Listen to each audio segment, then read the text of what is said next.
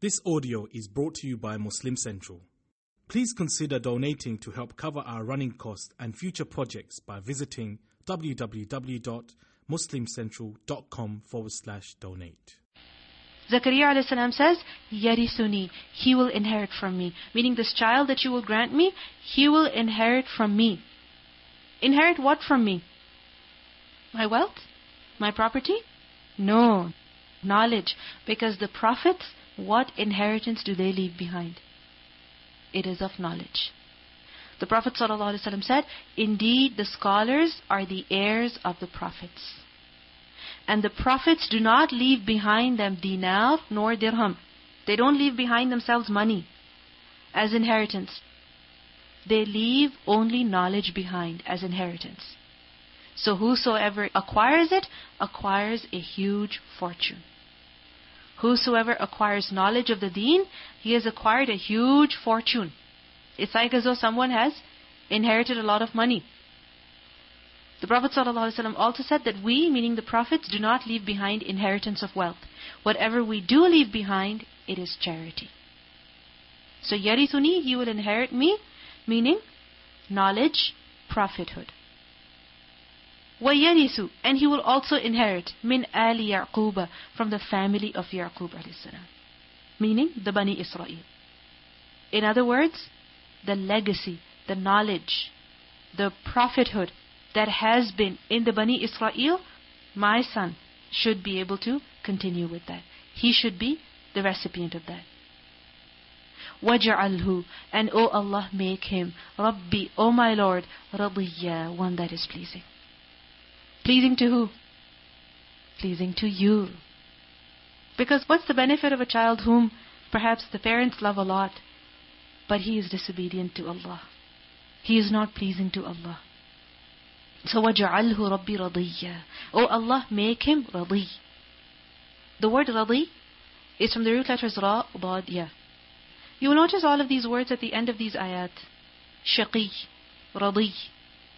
These words, they're اسم صفة مشبهة اسم صفة مشبهة and they give the meaning of fa'il and sometimes they also give the meaning of maf'ul sometimes they give the meaning of fa'il and sometimes maf'ul so radi gives the meaning of radi and it also gives the meaning of mardi it gives the meaning of radi as well as mardi who is radi one who is pleased one who is happy one who is satisfied so make him one who is pleased and happy with your decisions, with your commands, with your decree. One who accepts your decisions. One who accepts your commands. And secondly, radi also gives meaning of mardi. Meaning, one who is pleasing, one who is acceptable to you. That you are happy with him. That you are well pleased with him. What do we see in these ayat? The love that Zakaria a.s. had for the deen of Allah, for the religion of Allah. That he loved it so much that even when he wants a child, he wants that that child should be dedicated to the deen. Generally, people want children for who? For themselves, right? That we can have a family. Somebody can take our name forward. Somebody whom we can be proud of. My son is a doctor. My son is an engineer. My son is so and so my daughter is so beautiful. She is so successful. This is why generally people want to have children. Tafakhur, to boast, to show off. Al-malu wal-banuna, zinatul hayat dunya, for the purpose of zina. However, we see that he wants a child to serve the deen, to work for the deen, to carry this mission forward. And the thing is that a person only likes for his children what he likes for himself and what he likes a lot. Isn't it so? What will you give to your child? Something that you really like. Sometimes it is amazing how parents will give that food to their children, which is the very best. They will eat the rice and they will give, for example, the meat or the fun part to the child. Why? So the child can eat just something, anything. They will sacrifice themselves, but they will give the very best to their children.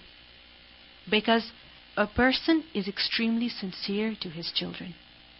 And anything that he offers to his children, that is what he loves the most. So when Zakaria wants the deen for his son, this shows that he loves the deen. This shows that he loves the deen. And if a person claims to be religious, and he considers himself to be a mu'min, but he does not care about the deen of his children, he does not care about whether his children are interested in the deen or not, whether they serve the deen or not, he's not concerned about that, then this shows his lack of commitment to the deen. This shows his lack of love for the deen.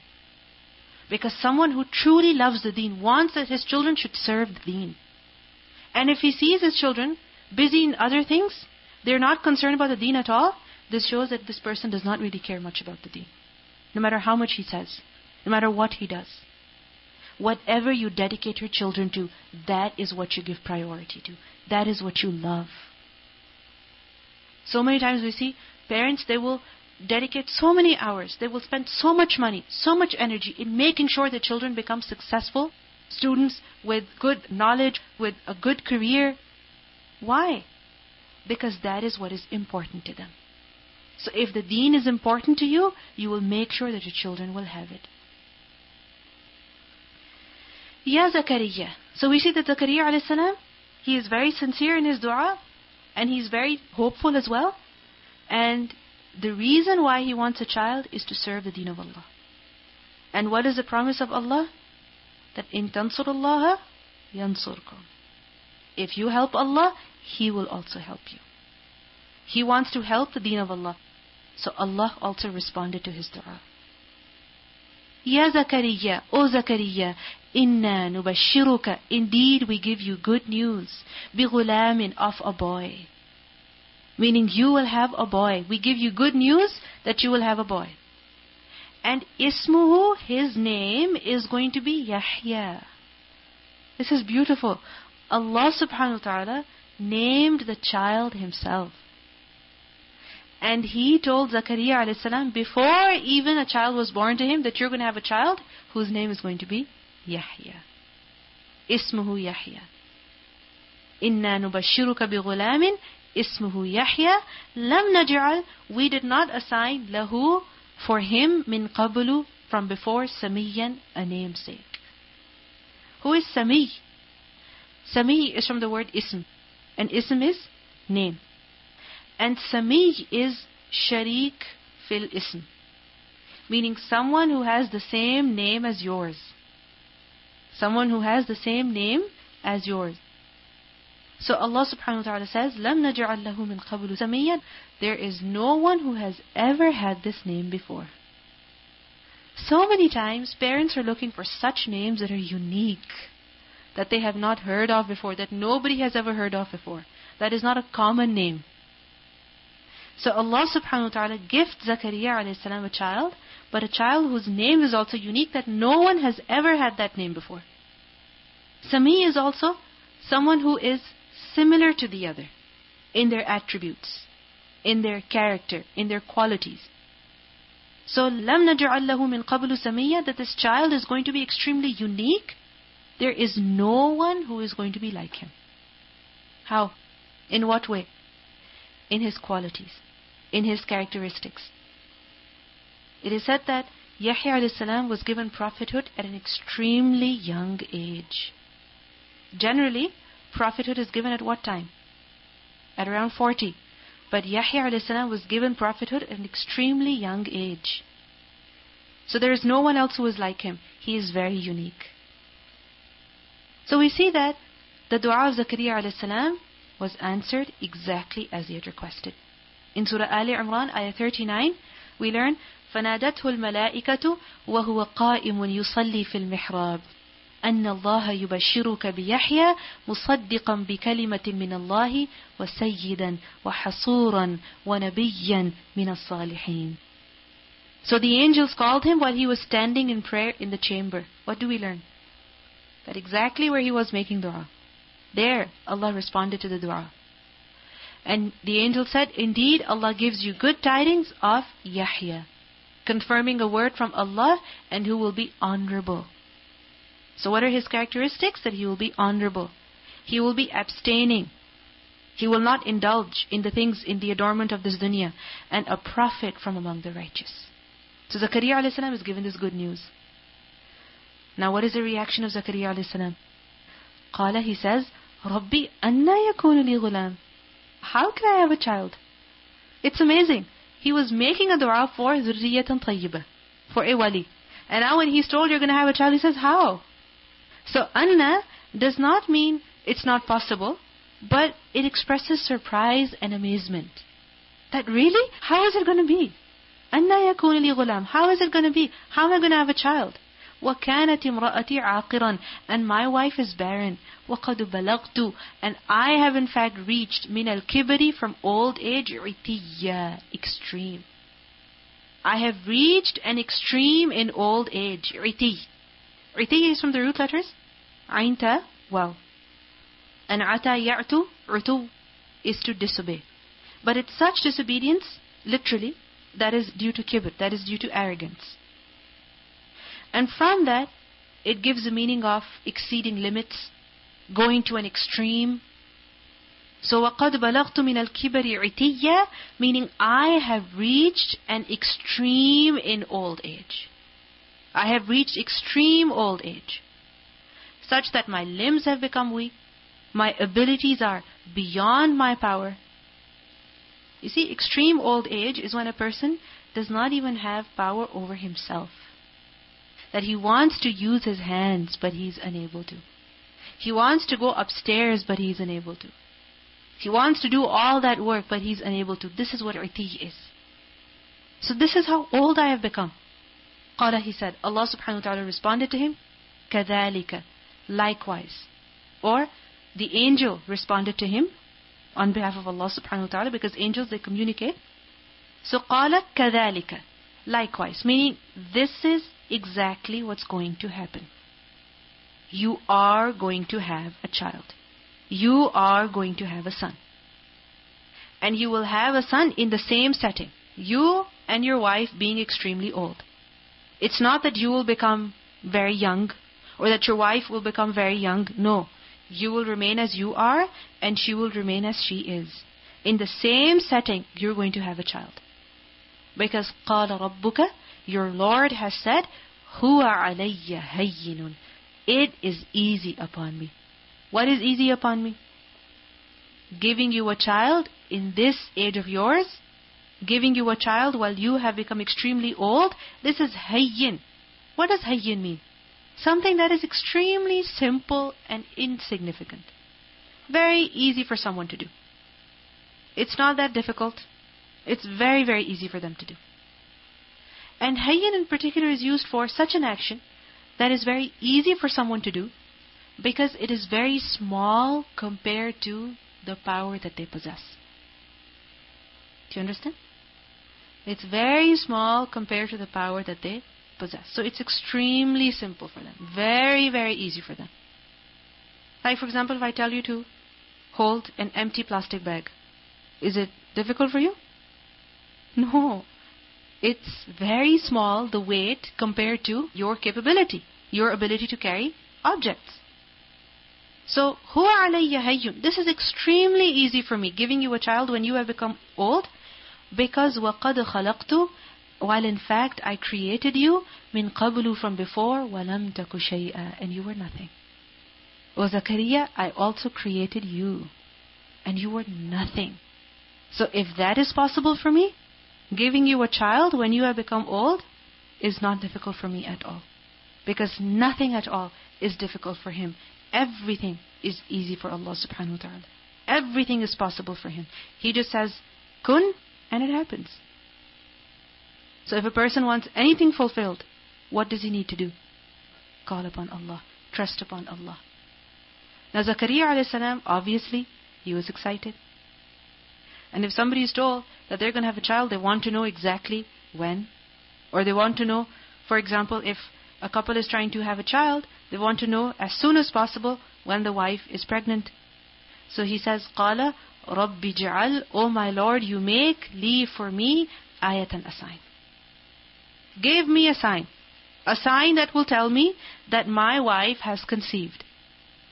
So that I can thank you for it from that moment on.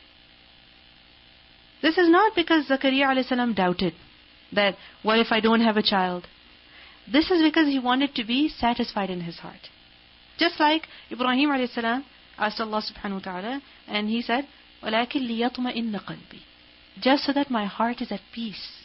I can be satisfied. I can be content and happy. And I can begin to thank you from that moment on. So give me a sign, make for me a sign that my wife has conceived. Now, typically, what happens? You just go to the doctor or you take a pregnancy test and you know, right? But we see that at that time, obviously, there were no pregnancy tests. Similarly, a woman can figure out she's expecting if she misses her period. But we see that she was extremely old, so that was also not possible. Now, what's the other way? That they wait a few months until eventually her stomach begins to grow and she feels the movement of the baby, and even that sometimes happens very late. Right? So, imagine if he would have to wait all that time. He's waiting. This is something that he wanted really badly. So, this is why he prays to Allah subhanahu wa ta'ala for a sign. So, Allah subhanahu wa ta'ala says, قَالَ آيَتُكَ that your sign is Allah tukallima, that you shall not speak an-nasa to the people. You will not be able to talk to the people. And the moment when you're not able to talk to the people, know that your wife has conceived. But for how long you will not be able to talk to people? Salasa layalin, for three nights. Three nights. And over here, nights are mentioned, but remember that the nights, it also includes the days. Where do we learn that from? In Surah Al Imran, ayah 41, where it is mentioned, قال آياتك ألا تكلم الناس ثلاث أيام. Over there, أيام are mentioned, and over here, layal are mentioned. So what does it show? That three days and three nights, three 24-hour cycles. So for this long, you will not be able to talk to the people, sawiyan while being sound. Meaning, in your body, Physically, you will be completely sound. You will be perfect. You will have no disability. Generally, people are unable to talk when? If they have some physical problem or disease or an illness. So it's not that you will be suffering from some disease, some sickness, some illness, because of which you will be unable to speak. Similarly, sometimes people are unable to talk because of extreme shock, because of some mental instability, some emotional instability some shock or fear, they're unable to speak. But Allah subhanahu wa ta'ala says, sawi. You will be completely sawi in your body, completely sound. It's not going to be some disability, some problem. And sawi, as you know, is from sawa. Sawa, we did yesterday. What does it mean? When something is equal, when something is sound, when something is proper as it should be. And rajulun sawi is a person who is free from any aib, any deficiency, any fault, any extremes in his physique, in his physical appearance. Like when a person is not extremely tall, not extremely short, that it's a perfectly balanced body. This is what sawi is. That there's no disability. And in particular, it has to do with disability, not just with extremes in the physique, but like, for example, one eye does not function properly. Or a person is unable to speak properly. A person is not able to move his hands properly. But Sawi is who? Someone who is safe and sound from any of these disabilities, any of these extremes. Some have said that layal sawiya, what this means is that for three nights that are sound, meaning that are uninterrupted, consecutively. Layal sawiya, meaning three nights consecutively, you will not be able to talk to people. Now we see that the sign that he is granted, it's very amazing. Isn't it? That there's going to be nothing wrong with his body, but still he will be unable to talk. In order to speak properly, the teeth have to be there, the tongue has to be there, the throat, everything has to be functioning properly. And when everything is functioning properly, there is no reason that a person should not be able to speak. Isn't it so? Logically, technically, he should be able to talk. But we see that despite the fact that everything is perfectly fine, still he will be unable to talk. On the other hand, he was going to have a child. And he was going to have a child when physically it was not possible. Think about it. He was old, she was old. Physically, it does not make sense for them to have a child. Right? So, exact opposite things were happening. Where the mouth is completely fine, he cannot talk. Where the body is extremely weak, it's producing a child. What does it show? That ultimately, all power is with who? Allah subhanahu wa ta'ala For something to not function despite being physically okay, it's in the hands of Allah. The power is with Allah.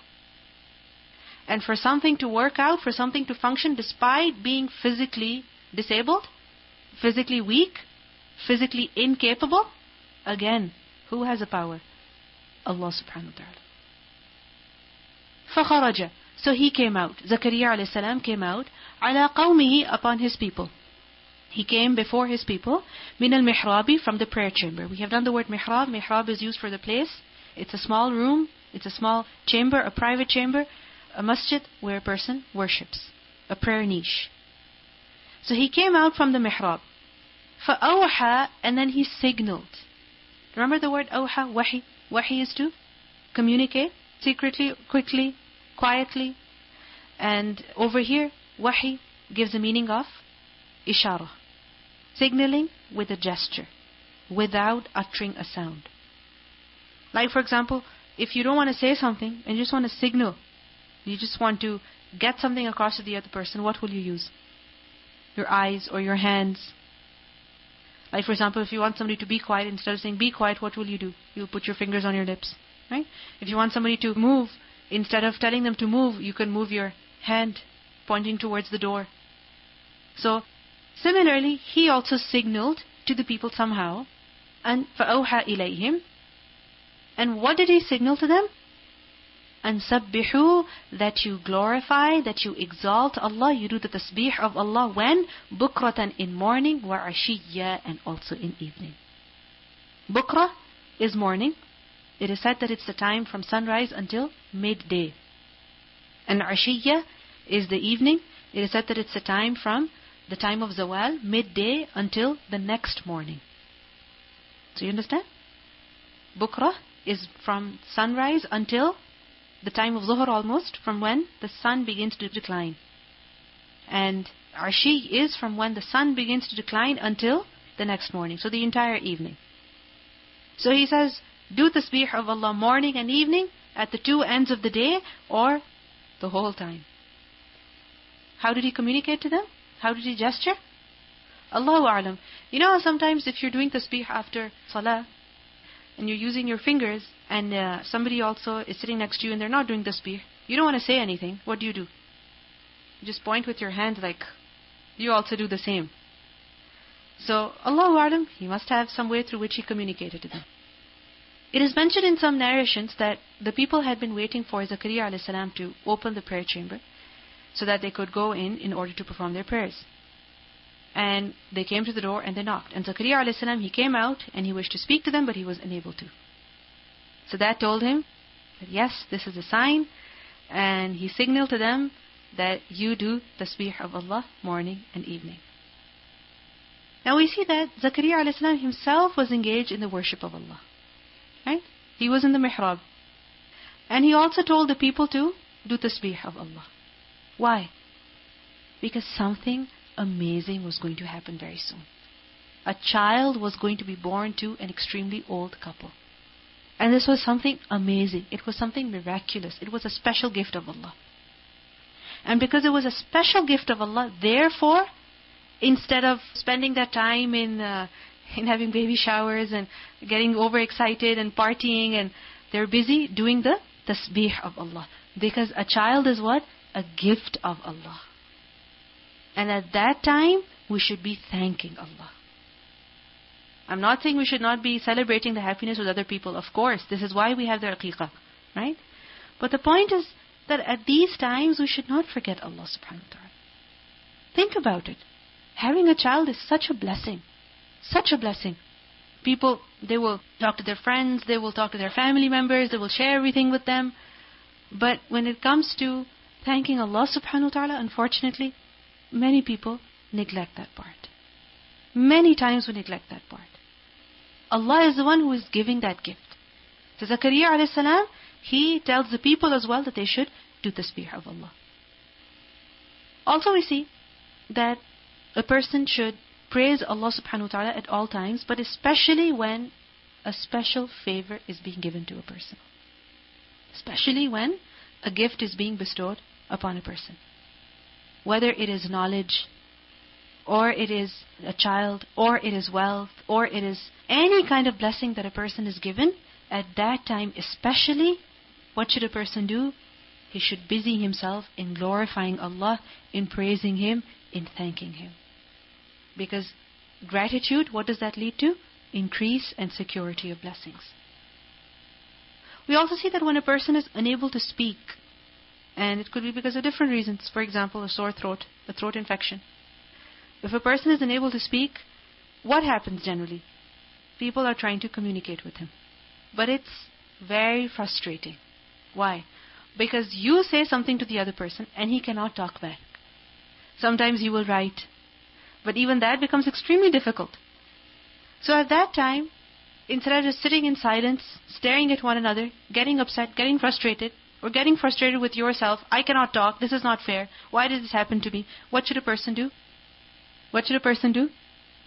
Busy himself in the dhikr of Allah. Because our tongues are used a lot for talking about other things.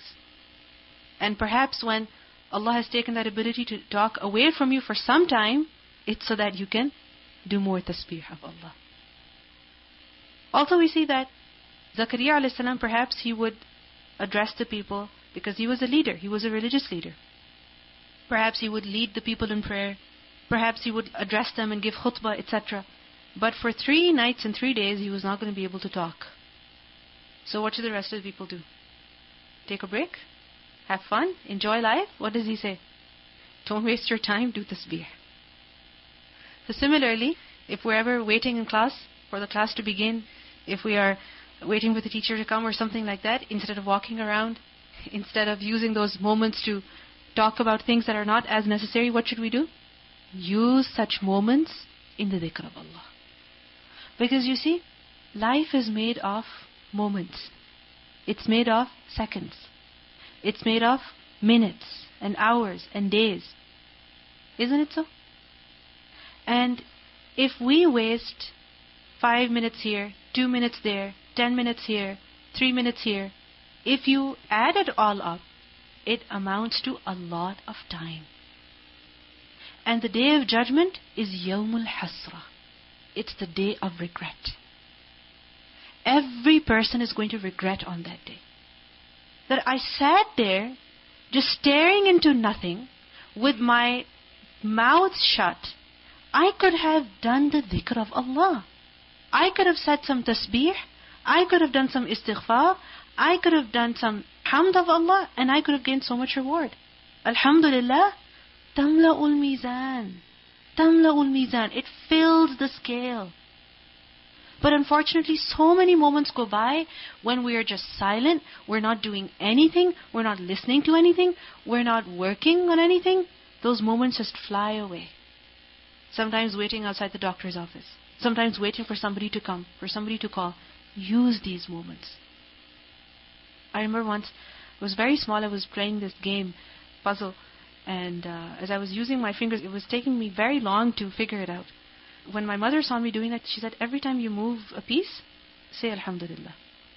Because so much time was going in figuring out that puzzle 15, 20, 30 minutes, and she would see me every now and then busy with that thing. So she said to me, every time you move a piece, say Alhamdulillah. Because these moments should not go waste. How difficult is it to say Alhamdulillah at that time? It's not difficult at all. So he tells the people, do tasbih of Allah morning and evening. So in this is a big lesson for us that just because we are unable to do something, it doesn't mean we don't do anything. It means we use those moments to do the dhikr of Allah. Because the dhikr of Allah is extremely heavy in the mizan. So the child was born. Listen to the recitation of all of these ayats from the beginning. Bismillahirrahmanirrahim. By Muslim Central. Please consider donating to help cover our running costs and future projects by visiting www.muslimcentral.com